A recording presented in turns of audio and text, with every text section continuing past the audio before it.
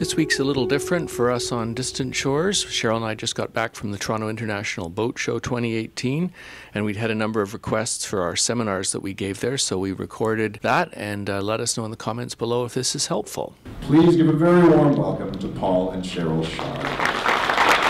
Thank you all very much.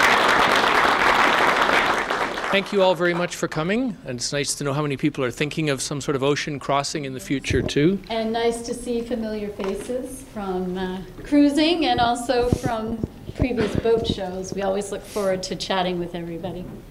So to start with, we'll just go through a quick background of the boats that we've used to cross oceans with. We'll go through these kind of quick.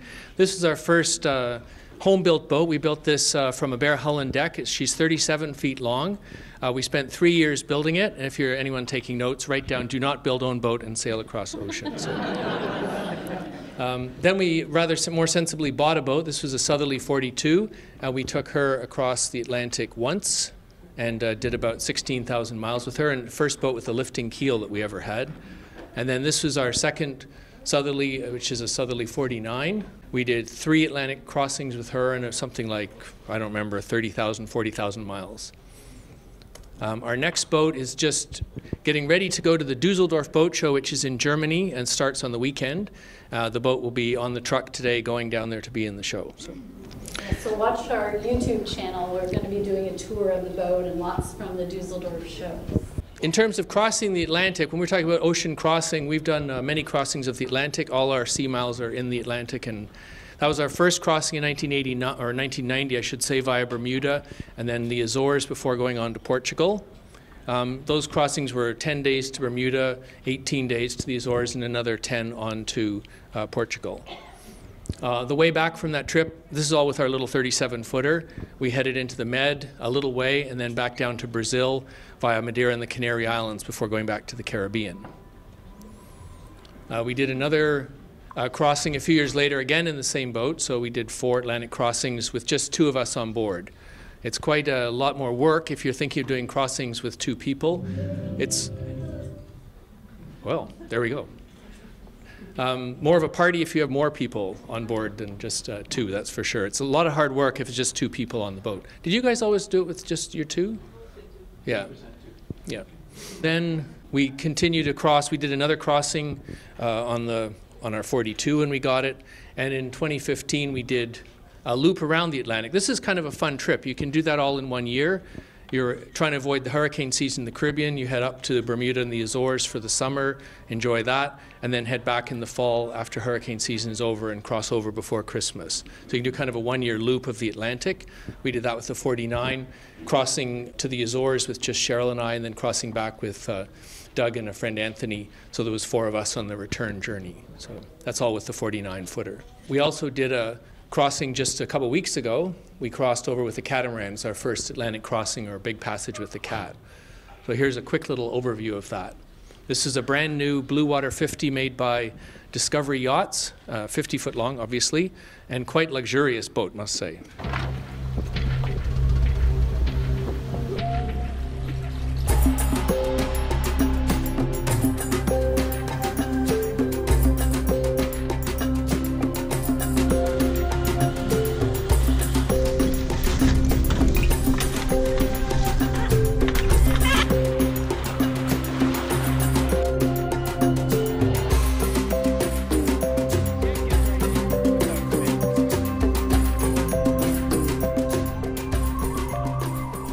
Back in September in England, Discovery's new Bluewater 50 catamaran made her debut.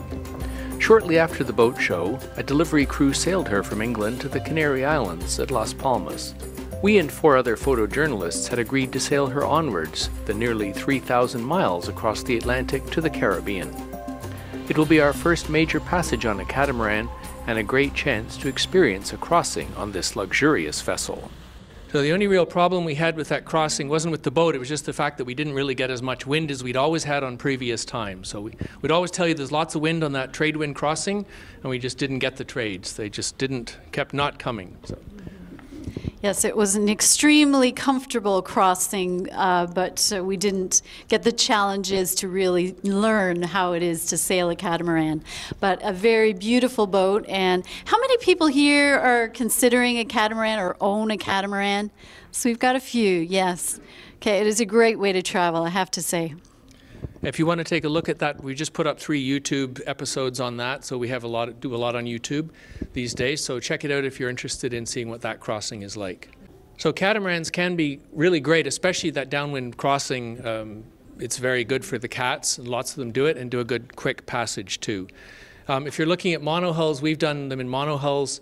I think 35 feet and up is, is more comfortable, and 40 feet is, is definitely getting into a, a more the waterline length will help to make a much more comfortable crossing, as well as give you a bit more room to have people come on to help.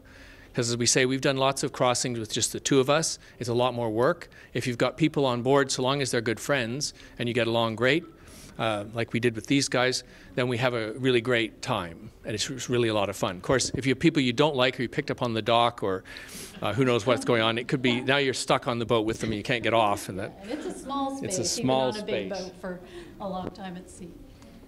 Um, is there anybody interested in doing powerboat voyaging? They, they're definitely doable. We've done a bit on powerboats. Um, I think I've got, yeah, we'll talk about this a little bit further on. And also, obviously, ocean passaging is a lot harder, more challenging for boats. So if you're thinking of getting one, um, possibly an older boat is an upgrade it to make it ready to do oceans is another option. Um, it doesn't have to be a new boat, of course.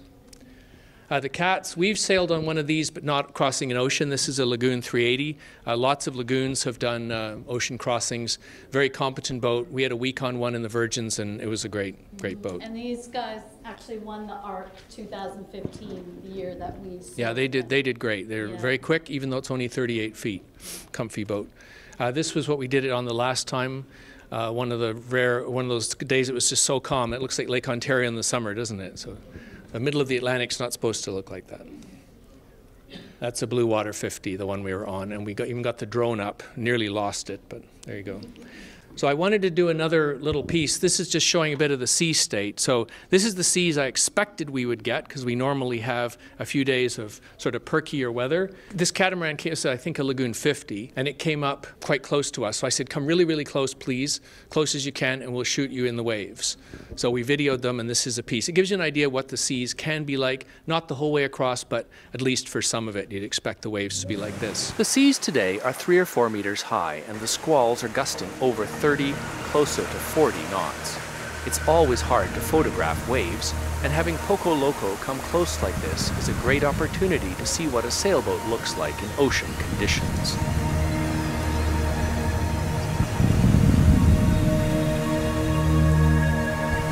They also snap some photos so we can see what Distant Shores 2 looks like.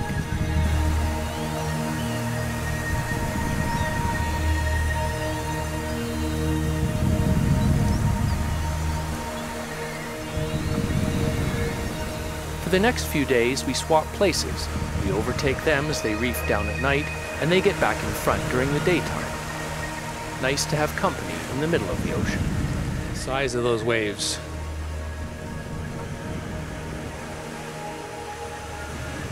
Yeah, it's, it's very hard to show the size of waves, and that was able to really, because there was a boat there and you know how big it is, it was able to, really nice to be able to see it.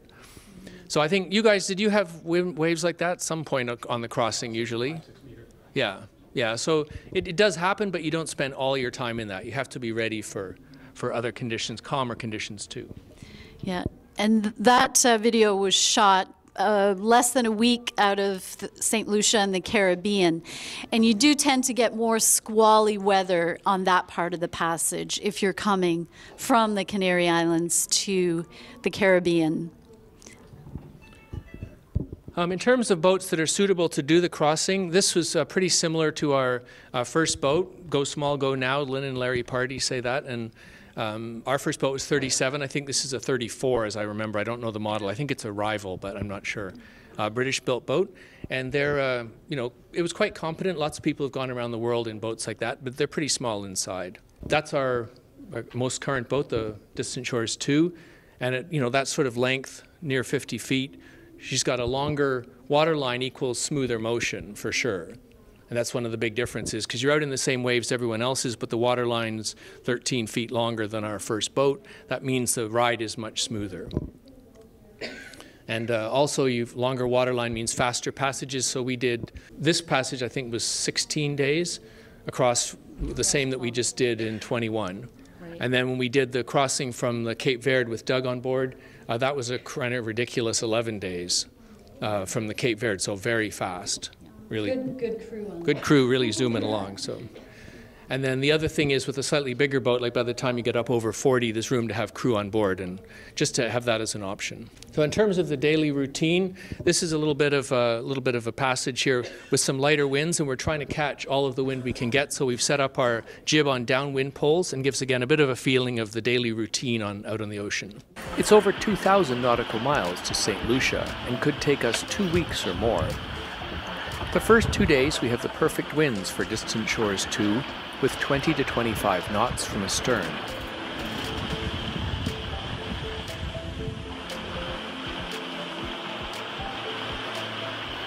To get the most speed, we've rigged our sails so we can fly all three of our main sails at once. We have our mainsail on port side and our large genoa set opposite on the starboard or right hand side. We're using our downwind pole to hold the sail out as it would collapse otherwise heading downwind like this. Then to get even more push from the wind, we've also set our smaller jib out on port side as well to catch the last bit of the wind that escapes between the two sails.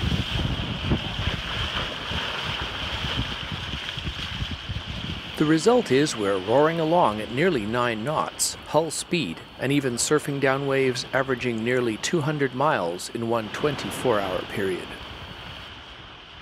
We hit 12 to 15 knots regularly while surfing. Although the waves are from 6 to 10 feet, the motion isn't too bad since we're going downwind. Down below decks, we're lucky Sheryl doesn't often succumb to seasickness and is happily cooking up a storm, making us fresh bread and some pretty fancy dinners. Yeah, we ate very well on that passage. And then this last passage we did, it was even crazier because we had three good cooks on board. It was more like the pastry and gourmet cruise. Yeah, it was the first passage we'd all done that we didn't lose weight. We actually gained weight because it was so calm. And Alexander was baking cakes and we were making amazing meals, and it, it was really fun.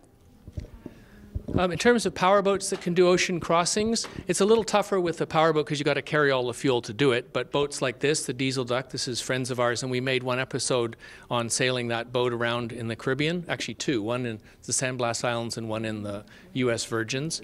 Um, so boats like that can definitely cross oceans. Uh, this is the Diesel Duck, and then another one like that is the Nordhavn 40, 46. Yeah. So those kind of boats you see crossing oceans as well. So uh, boats like that can do it. Um, in terms of older boats and sort of doing an upgrade, this is uh, friends of ours bought. Um, I think it's a 35, kind of a former race boat. They did lots of upgrades. You've got to not spare money on the rigging, and if it's an older boat, it needs a new. Perhaps the whole rig needs to be replaced, or perhaps an engine. You know, but you've, you've got to make sure it's really up to date. Rigging and sails definitely the engine and perhaps electrical system would need some upgrades as well. So it's not just about buying the boat, you've got to leave some budget to make sure that you've you've got it really ship shape if you're going to be out on your own. And if you find something that's a real deal, um, it's very helpful if you're handy because it can be quite expensive to have somebody else do all those upgrades. And with an older boat, you know, there are going to be constantly projects that you'll want to be fixing and updating as you cruise. So um, just keep that in mind if you're shopping for a used boat. Just looking at the kind of boats, this was, has anyone, anyone heard of the Atlantic Rally for Cruisers, the ARC? I know you guys have. Um, quite a few have. Okay, so it, the Atlantic Rally is a group that get together in the Canary Islands and head across the Atlantic. This is Las Palmas uh, just before heading off on that one, that edition of it, and we were there just a few weeks ago. And uh, in terms of stats of the typical boats, I thought it was interesting to look through who is in the rally. Like something like 250 boats started it this year.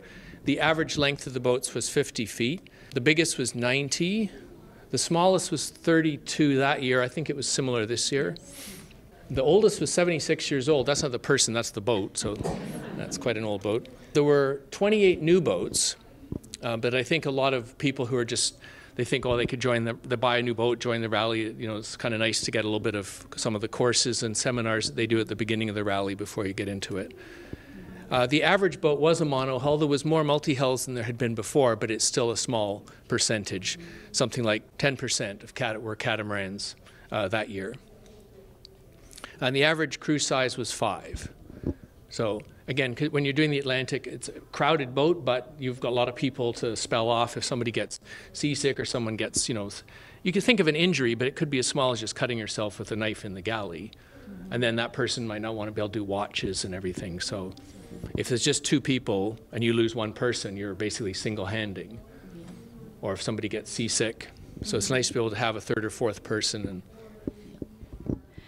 Yeah, and it just makes it more of a holiday. You've, you're there with your friends, and if you're up, there's probably other people up too to keep you company. And it's definitely fun to be in the rallies because you're all connected by radio or email, uh, and the seminars that they do ahead of time are really great. And they do safety checks of your boat, which is reassuring. So, you know, lots of pros and cons because usually there's a start date and you have to leave at that date, and it's not maybe the date you would choose if you were on your own.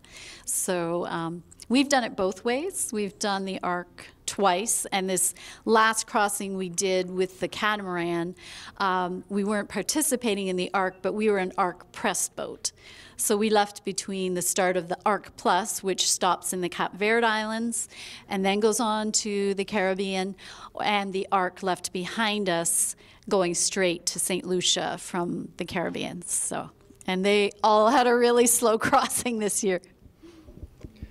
Um, also, some of the yachts that are doing the Atlantic crossings will be looking for crew. So, if you're looking for experience, it's a possibility uh, to join yachts either as uh, you know paying to go in a cabin or a berth, or just coming along with a friend from a yacht club to help them out on a crossing if they're looking for crew. So, we meet some people who do that. In in case of one of our British friends, his wife didn't want to come; she wanted to stay with the kids, and then they would fly over and do a cruise around the Caribbean after that. But meanwhile, he could cross over with his yacht club friends, and the four of them could have a guy's cruise across the Atlantic.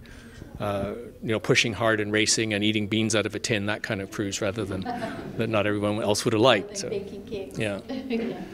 And on the the um, ARC Plus that we did in 2015 with Doug and Anthony on board, Paul and I had done a lot of ocean miles that year, and I just wasn't up to doing watches. So the three guys just wanted to race and have fun. So they did the watches and I did all the galley stuff because I really enjoy being in the galley and I don't get seasick. So I was the on call person and I would get up and make sure everybody was fine each watch. But if there was a squall, not my problem. so there are different ways you can do watch. And you can do as much as you can to get the perfect boat. I don't know if you can have it all. Maybe he's just landing the helicopter there just to make sure they're all okay. You can have it all, but it may not be worth it. May not be as much fun. Um, in terms of getting out and having power for the crossing, power generation is always an issue. Uh, even if you're sailing a lot, day sail, putting a lot of miles on, you might not realize just how much it uses to run the boat 24 hours a day. Where we're we going to get the power from? So recently, uh, we, with uh, Distant Shores 2, we added the solar panel arch, a big project we did with Doug and uh, that gave ton of power. So now when the boat was sitting in a marina or sitting, sorry, in an anchorage, is basically self-sufficient on the solar. Uh, but for ocean crossing, it still needed extra power, but that stopped the need to recharge the battery as much as we would have. Um, towed generators, we've not had experience with that. You can sort of have those little, looks like a little outboard motor that hangs on the back and generates power. What is it called? The Watt & Sea is the popular one nowadays, isn't it? Yeah. It looks like a little outboard stuck on the back of the boat, and you can flip it up. If a shark eats it, you can pull it up and put a new blade on it back down again. People will be self-sufficient with that. alone. Yeah, the tow that would do all the power you needed. Um, having a generator, we've always had a generator on the boat to get the extra power. And some people just rely on the main engine, but again, that's that's a little trickier because the main engine, if that goes down, then you've kind of lost everything. You don't have an. Normally, if you have a generator or solar, then you've got that. If the main engine goes down, at least you can put something in to the batteries. uh, for different sail options, again, downwind. We've not used a spinnaker before until this last year, so this is uh, our spinnaker that we flew for, frankly, weeks, like over a week and a half, I think we, day and night, we were flying the spinnaker in the super light air. So this is putting the spinnaker up and dealing with it. It was good fun and uh, beautiful to sail along. I think the great thing about a spinnaker is you, at least you can sail on those light days when it's just so beautiful out, and to be ghosting along instead of listening to the engine. It's, it's you know, it's a lot. That's why we're sailing. It's to really sail, and, and that really was just spectacular. We quite enjoyed it. So how much speed are we hoping for? We don't have hardly any wind Not today. much wind here today. We're well It's under barely 10 rippling. knots, huh? What's the true wind, Sharon? Apparent is 5.2, 5.5. We've got eight knots true from astern. Yes. What's our speed over ground now, or? Five knots. Last time we set the spinnaker with the sheets one onto each hull for going dead downwind. But this time we're going to try setting it on the bowsprit and heading a bit further upwind. Perhaps it'll get us more speed. We've rerun the sheets to the aft winches here so Dave can adjust both, walking back and forth across the stern. All right, you ready? ready. All right, let's go. Head launcher. On the sheet. Yeah. Looking good there. On autumn. It's just really light, huh? Very light. Very Let's start try playing with that. Yeah, that looks better. Nice. really is a concern not just to deal with storms. I think a lot of the times before we first went off sailing all those years ago, we we're always worried about what would happen in a storm. But in fact, there's a lot of light air too, so you do have to worry about that. You spend a lot more time in light air than you spend in storms, so uh, you need to think about that as well for making sure the boat can handle it. And this, the catamaran had an asymmetric sim, uh, spinnaker, so we could sail it as a gennaker and also a, a full out spinnaker. So we didn't have a lot of experience with that, and it was really great to get it with the cat, and we're certainly thinking about it for our new boat. So. We've usually sailed with using two jibs, so this is a setup with both. We have two jibs, and we've always had that on our boats, and then put one to each side, one out uh, either on the end of the uh, the boom, and then the other one out on the pole. So that's sort of the rig. With this kind of rig, it's not just like throw a pole out for now. We're going to set it up, and the boat is permanently rigged that way. So we can put the sail out, and then if we want to, if a squall comes up and one person's alone on watch, they can just put the sail away. Leave the pole out, it'll just sit there, won't move, because it's rigged with a fore guy, an after guy, and a topping lift. Essentially, the pole is held out like a derrick, it'll just hang out there, and then you're pulling the sail out, putting it on, putting it away again when if the wind is too strong. So it gives you a way to project a lot more um, sail area for going straight downwind, and that has always uh, enabled us to do much faster crossings than people who can't run those sails. And it's a very good setup uh, for shorthanded sailing. So if Paul and I are sailing offshore, just the two of us, I'll be on watch by myself when he's resting. And if I need to reef that head sail, it's very easy. I'll just furl it in and I don't have to deal with a pole. I can just leave it out there. It's all secured. And then uh, furl it out again if I need to. So, you know, it's very easy for one person to handle. That's also a carbon pole, so it's pretty light. You're only holding the one end of it, but it's very light. I could take that pole and hold it up one with one hand. So this is setting it up.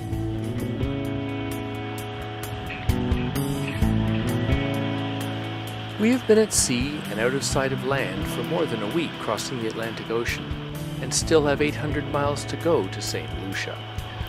This whole passage has been entirely downwind, and we've been using our carbon fiber downwind pole.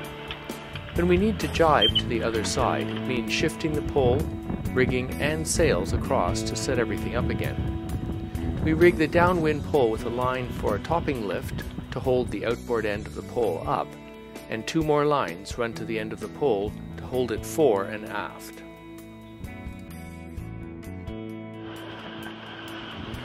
We also run a line to hold the sail itself, called the sheet. Normally this line runs to the Genoa track on deck, but when we have the sail out on the pole, it's better to run it back to a block further aft, then up to the winch. We've had the sail set the same way, the same tack, the same side for nearly seven days. Finally, time to jibe across, and 800 miles to go to St. Lucia.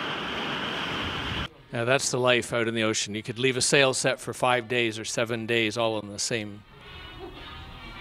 Oh, that's exciting. Something exciting is happening back there. Yeah, so that's uh, with the downwind pole. Um, in terms of reefing, you obviously need to practice reefing and have perhaps a third reef added if you don't have a, a deep reef. We've never we've carried storm sails on the boat. We've like almost never used storm sails. Um, I don't know if that was your experience, but we usually found we just reef down, uh, reefing, putting a third reef in or furl the furler up. Once we, we put storm jib up once.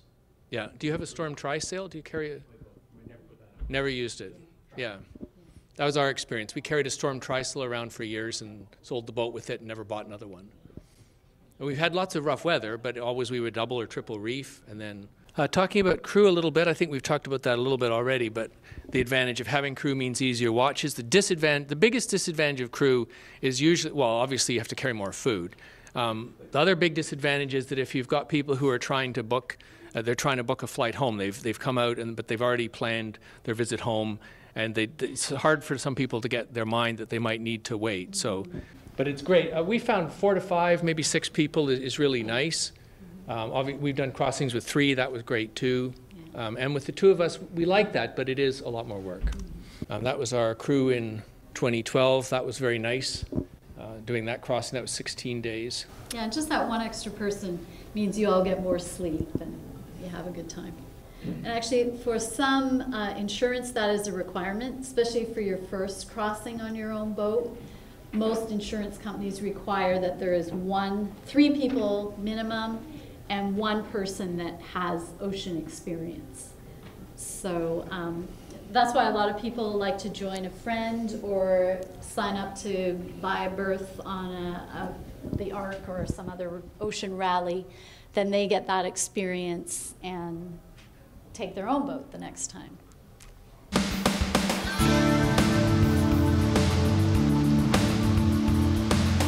This is our fifth transatlantic crossing, but only the second time we have had extra crew. Our friend Matt joins us to help with the watches. Spend a lot of our time off watch down here in the aft cabins. These are the most comfortable cabins at sea. We're doing watches 24 hours, so we've divided that up. Matt and I are doing nine hours each in three shifts, and Sheryl's doing six hours because she's cooking. Rolling downwind, you have to sort of jam yourself into the corner because the motion just keeps the boat rolling. And it is a bit of a trouble sometimes to fall asleep in daylight like this, but you still have to keep on the watch schedule. Pretty comfortable down here. It's warm enough, and it's just gonna get warmer as we go south.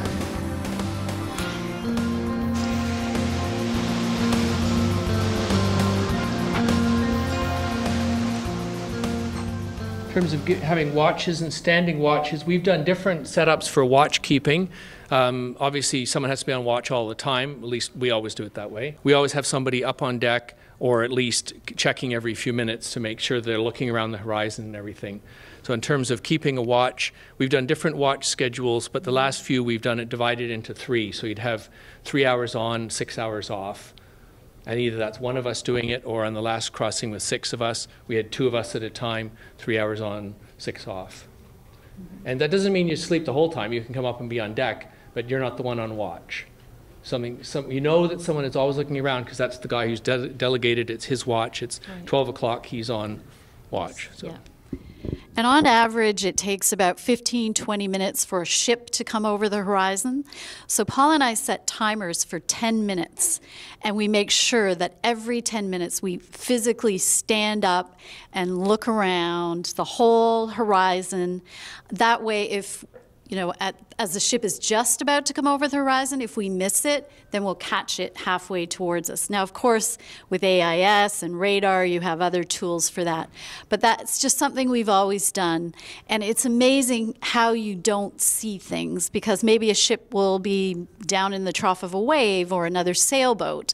And so just physically getting up, being present, doing a scan 365 degrees, then scanning from your boat out to the horizon. Sometimes you'll look at the horizon and not see there's a little fishing boat halfway out. So uh, that was something that you know we really tried to encourage all our crew to do. But it's getting harder now. Everyone likes to be on their phones and watching uh, watching the videos or not the video screen, the chart plotter, yeah, and the AIS. Yeah, yeah. What about that ship over there? Yeah. yeah. So, yes, yeah. So, sorry? Radar, We yeah. don't use the radar much for finding ships. I think it's not not as reliable. I mean, AIS, of course, gives you the name of the ship, mm. and it's at a greater distance. But once the waves get a little bigger, you're getting sea clutter, and it depends on the radars. But you probably won't see a target more than four or five miles away anyway, uh, especially as the seas get up a little bit. When the seas are really flat, you'll see a you can see a ship a long way away, but. Uh, radar, we use it much more for tracking weather at sea, offshore, see where storms are. You can see the rain in storms 30 miles away. And, uh, and I think for approaching islands where there's going to be sailboats that perhaps haven't got, have got such a weak light you can't see them, or uh, you know, we use them for boats close in. I'll quickly go through some of the safety gear. Um, we're big fans on wearing life jackets. Uh, we do always wear a life jacket. Um, I think if you make YouTube videos and you don't wear a life jacket, people probably say, "Don't wear. Why don't you wear a life jacket?" So then I put up the video with the catamaran, and I got someone complain and said, "Why you guys always wear a life jacket?" I said, "Okay, it's very difficult with YouTube sometimes to please everybody." So. Uh, we carry a life raft, and uh, I've made I've shot a little piece of inflating the life raft, which I still haven't got around to editing. But it was quite interesting to inflate the life raft, and then because we had to get rid of it, get a new one, and it expired, so we gave it a good pull, and it inflated, and we jumped in and played with it, and it was interesting to see. You definitely want to keep your main boat afloat. Having been in one of these little life rafts, it's not the not what you want to be in. So keep the main boat from sinking. Um, AIS is one of the good ways I think of doing that to make sure you're never going to hit anything. There's just no reason anymore to hit stuff because ships, you can always see them. Uh, if, if you don't have an AIS unit, if you're going to go cruising, definitely get one, but don't skimp and get the AIS that just receives. Why not get a transmitting AIS? It, they don't. Number one, if you're worried about privacy, you can turn that off, and not transmit. If you're thinking that some pirates are going to see you and come and steal your boat or something, just put it into silent mode. You better explain that margarita glass. Why is there a margarita glass in the middle of? Yeah, we put little waypoints of uh, where we're going to get to. So Yes, normally they're destination waypoints. Yeah. With the Raymarine chart plotter, you can have all these little icons, so we always put that before we make landfall. Um, this is a big safety feature that I'm just super keen on. It's super, super cheap. Uh, most people don't have this. Basically, you got a bilge pump, an electric float bilge pump. That's the typical bilge pump that's on most boats. I think most people are familiar with that. I really believe you should have an alarm on it. I want to know if the bilge pump is pumping water. I don't want it to pump water quietly and then not let me know that there's a problem. And then I'm going to suddenly realize you've read this in stories. The guy gets wakes up in his bunk, puts his foot out of the bunk, and it's knee deep in water, is in his bilge. So, so why does that ever happen? You can always know uh, just by uh, having a little. Basically, it's a two dollar uh, Radio Shack beeper that will beep if the bilge pump goes off, and you can have a switch to turn it off so it doesn't. If it's going and you're dealing with the problem, you don't have to listen to the alarm. But definitely, you want to know if there's water in the bilge. It's it's probably the most common cause of boats sinking, is that they get enough water in them. The boat water has come in from something stupid, like a hose clamp is broken, and you don't know about it until there's gallons of water in the bilge, and now you look and there's water sloshing around everywhere, and you can't find where the leak is because there's water sloshing around everywhere. So the first water that comes in, if you get a beep and you go down and you look and you everything's dry because it's just started a problem, you can find the problem and it's probably just a hose clamp. Um, in terms of cross, uh, doing sort of an Atlantic cruise, that's sort of the, the key islands that are out there for you to use if you're planning on crossing the, or doing the Atlantic. Um, Bermuda is very convenient, and the Azores are very conveniently located. And of course, people want to go to the Caribbean, so uh, one way to get there is to sort of go around the Atlantic, as we were talking about. And then if you're talking about making passages, usually, and this is a typical summer pattern when a lot of people are crossing over toward Europe, you've got the Azores high goes into place there. So because of the way the winds rotate, you generally go north of that to cross over to the to the east and go back south of it to cross back to the west. So and we did a crossing in 2015 from the Caribbean across to the Azores. But if you go directly there, you're probably just going to go into flat calms. So you're going to have to go north, get near Bermuda, and then head across. And uh, just to show you again some of the calmer weather, here's a little bit from uh, crossing over, and a little bit of floating debris. You rarely get that in the ocean, but we, we, in this case, we saw it a few hundred yards away and went over to just investigate what was floating because you can see how flat it was. That's the middle of the Atlantic, but it's so flat that we could see that a long way away, so we went over to see what it was. That's a very good question. What is it, Paul? It's some kind of a piece of a ship from the look of it. It's made out of steel, quite heavy. But it's floating, because I guess it's a tank of some sort. At least it's got fit. It looks like it has fittings, so it'll keep floating like this. If we banged into this at the night, it would have woken us up, that's for sure.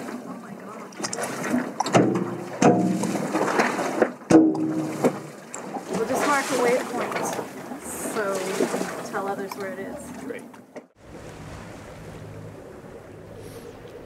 One of the bigger problems, rather than hitting things, I think, a bigger problem that more people have uh, crossing the ocean is going to be chafe, especially on these long passages. Because if you've gone out and had experience sailing, like setting up the exact rig we're talking about, having the, the jibs or whatever on the end of the pole, you've probably done that for a, a couple hours and you come back.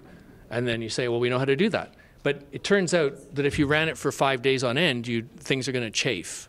Because more things, there's a lot more wear on it over five days than two hours. It suddenly it's equivalent of years of work, or years of work on the line moving back and forth. So that's just a bit of a line that was nearly chafed through. We pulled it down and we're trying to figure out where the chafe was coming from and on the end of the pole fitting and try to reduce and deal with protecting the boat from chafe.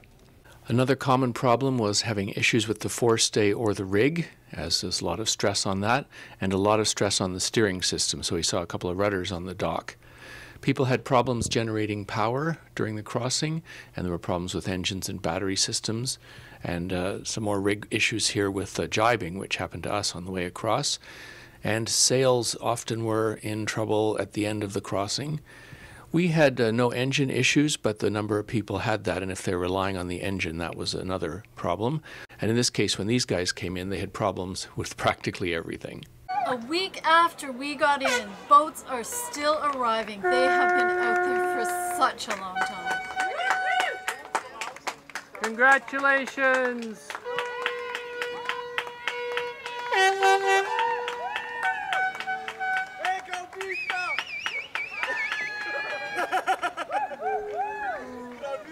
After 25 days at sea, and despite a lot of difficulties, the crew of Girls for Sail makes it in before the finish line closes.